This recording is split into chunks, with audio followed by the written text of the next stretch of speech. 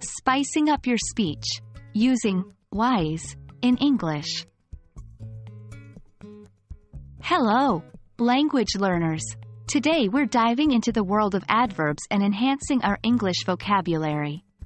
Our focus will be on a specific suffix used to form adverbs, wise. You've probably come across this suffix in your English language journey, and we're here to ensure you understand and use it like a pro. Let's start at the beginning. Wise is a suffix in English used to form adverbs, meaning, in the manner of, or, regarding. For example, when we say, clockwise, it means, in the direction that the hands of a clock move. Here's another example.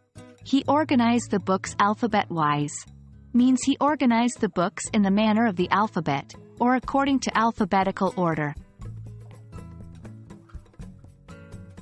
There are a lot of wise adverbs commonly used in English. Some of these include 1. Otherwise, in a different way or manner. 2. Likewise, in the same way. 3.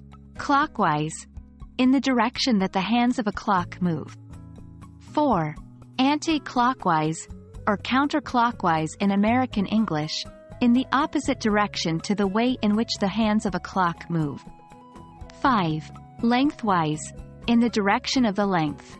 These adverbs can add specificity and interest to your speech and writing. However, there's an important rule to remember. The suffix wise is generally only added to nouns. That being said, it's becoming increasingly common in casual English to add wise to almost anything to mean, in terms of, or, regarding, such as money-wise or food-wise.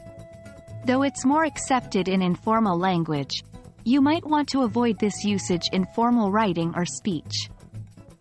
Stick to the established wise words like clockwise, otherwise, and likewise when you're in a formal setting. That wraps up our lesson on the suffix wise. Now you not only know what it means, but you also know how to use it correctly. We hope this has added a new dimension to your English vocabulary and you're feeling ready to use these adverbs in your daily conversations. Happy learning, and we'll see you in our next video.